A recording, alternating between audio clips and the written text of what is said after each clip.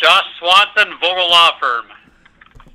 Updating here with the Lake Sakakawea mineral rights case, as well as uh, Mr. Swanson. Josh Swanson just got back from oil country out there in the heart of Williston. Bakken, of course, the heart of Watford City is the Bakken, I guess, but Williston used to be, and it's still just as active as ever. We'll get a update in just a second, but hot off the press, 30 minutes ago, something was filed for the Lake Sakakawea judgment or something along those lines. I didn't get time to write my notes, so let's just find out what, what happened here. You guys uh, just recently made some movement on this uh, mineral rights Lake Sakakawea, North Dakota issue. Literally hot off the press uh, within the last hour.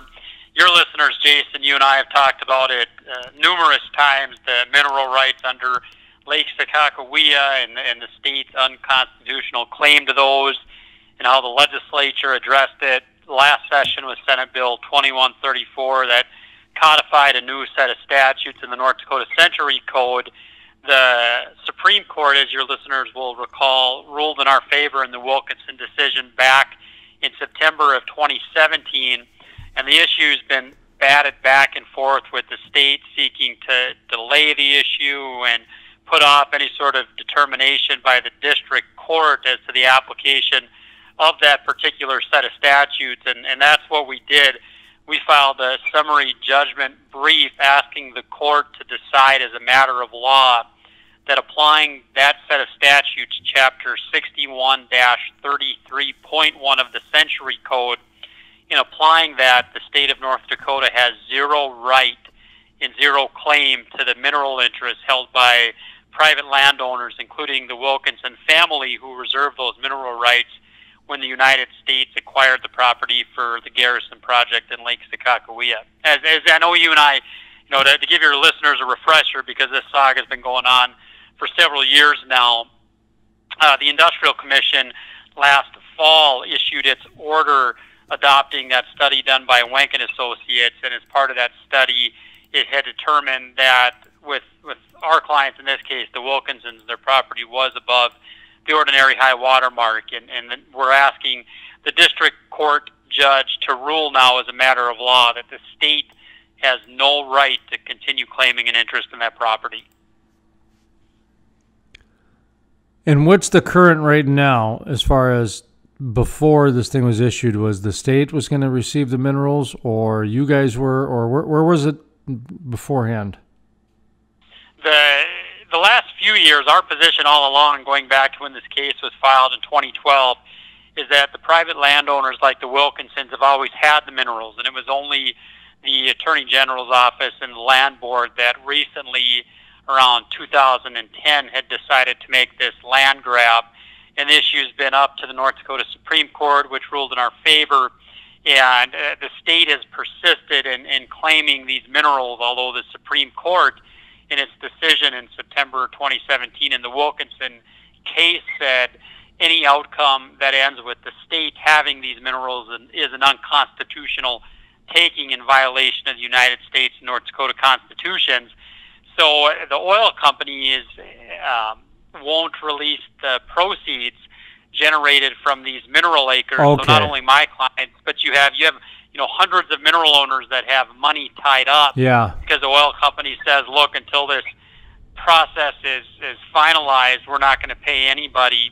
So we're moving forward on that and telling the court to order the state to drop their claim to this property. So these these the, the monies are essentially in probate, or they're in just somewhere in in in a, in a mineral right purgatory until this thing gets resolved.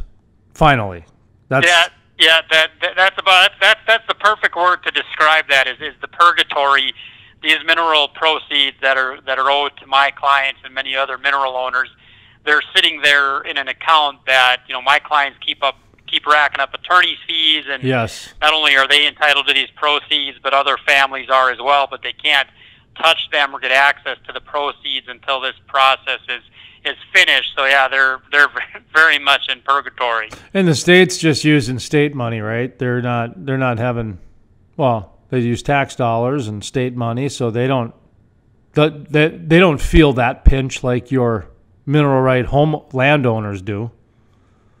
That's That's a, that's exactly right. You know, the the state has all the resources in the world to to fight this, courtesy of the great taxpayers of North Dakota. The the private landowners, whether they're my clients or other families impacted, they've got to go out and hire an attorney. And and I know I've mentioned it before to your listeners, but I'm looking at several bookshelves in my office that are filled with paperwork and filings from this case. So we're we're really looking forward to finally being able to argue this to the district court in June, and and really looking forward to the state's response to see uh, whether or not they'll finally abide by the law, by what the Supreme Court said, by the statute, by the Industrial Commission's order, and the and really. The, to be quite frank, the damnedest thing if the state were to dispute the findings of the Industrial Commission, if you think about it for a minute, attorney the attorney general is on the industrial commission. He signed and approved the order that says our client's minerals are above the high water mark and the state has no claim to them so I, I really don't understand and i don't think there's a legal avenue possible which is one of the things we argue in our brief that the state is prevented from asserting a claim to these minerals because the the attorney general who is filing, his office is filing these briefs trying to, to claim our client's minerals, he signed the, you know, he signed the gosh darn order saying that the minerals are above the high water mark. So that's one of the questions we're uh, anxiously awaiting to see the state's response on here. Josh Swanson, Vogel Law Firm, on the line with us here. Just a few more minutes, and I wanted to ask you, and you don't have to answer this, but I'm, I'm just curious about the elephant in the room. And this is not a political program. That's why you don't have to answer this. But I know Vogel has lobbyists, or I assume they have lobbyists, or you know lobbyists. So you can certainly cite a lobbyist if you feel it's a political question. The North Dakota GOP prides themselves on being uh, conservative Republicans and, and state state stay out of my checkbook and and yada yada type thing. Where are they at on this? I mean, it just it just seems like so counterintuitive to what they openly brag is their ideology. Are you following me on this? I'm I'm not trying to make this uh, political, but the but they're the ones who brag about it.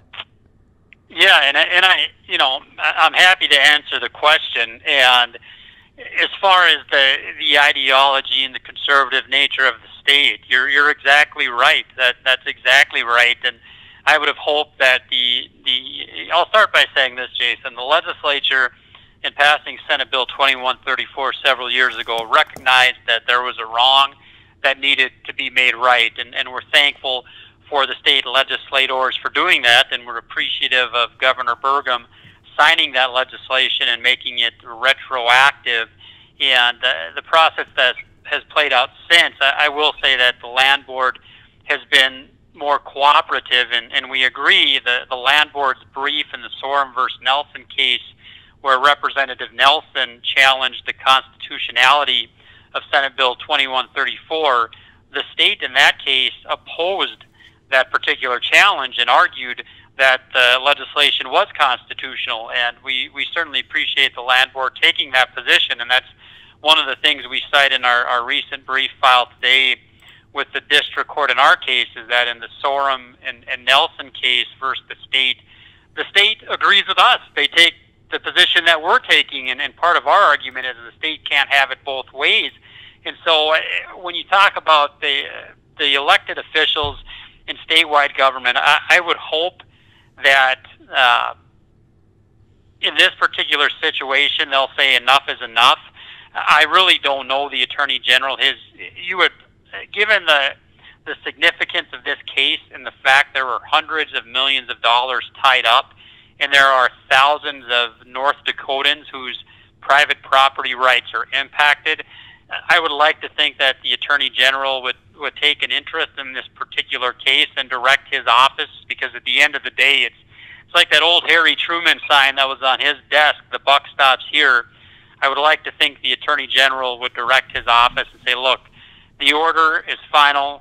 Enough is enough. We need to respect that process and let this family have the finality and the outcome they're entitled to under the statute and to direct the attorneys in this particular case to, to drop their claims to these private property, but you know it's it's it's frustrating to me that my clients have had to spend hundreds of thousands of dollars fighting for something that's always been theirs, and there hasn't been more of a um, a stronger response. And I understand administrations come and go, and and you know legislatures change every two years. This is really on the attorney general, and I would love to visit with him about this, about finality in resolution, and, and we've made that invitation before. We've been very direct in our communications to the AG's office, and and right now I hope that you know you talk about private property rights and uh, the Fifth Amendment of the United States Constitution and Article One, Section 16 of the North Dakota Constitution, and, and respecting respecting those because at the end of the day, you know those those two sacred protections are about individual liberty and individual rights against the intrusions from government, and, and that's that's what this all comes down to, and it's not really a complicated issue. So I, I hope it's my sincerest hope that that our elected officials on the statewide level um, finally come around on this. But um, if if they just kick the can down the road or ignore it, that's that's my biggest concern. And I think the reality of the situation is that it's gotten this far, and, and I fear that the attorney general is just going to do the same thing he's been doing. Um, we'll see how the land board responds to it. But I, I, I understand the, the question, and it's it's incredibly frustrating and, and not I mean, it's frustrating for me as an attorney who cares about his clients and who has to see his clients go through the hell that my clients have been through. But I, I, I don't think any of us can really understand and appreciate when you're a, a, a citizen who's paying taxes and has had this property in their land going back to world right after World War One, to have the state come in and take that and to have individuals and state government just sit idly by while you're spending hundreds of thousands of dollars to protect something that's always been in your family, there's something that's just not right with that. There's something that's deeply troubling and deeply upsetting. And, and I would ask your listeners to this program just to put themselves into the shoes of those families that have been impacted by this, that have had to have spent the monies and resources in the last 10 years that my clients have. And, and if it can happen to them, it can certainly happen to anybody when, when there's that sort of um, lack of accountability from certain levels of our government. So, um, you know, whether whether that's uh, taking on your question head not, uh, head on or sidestepping it, um, that that's that's where I guess my take on the situation is.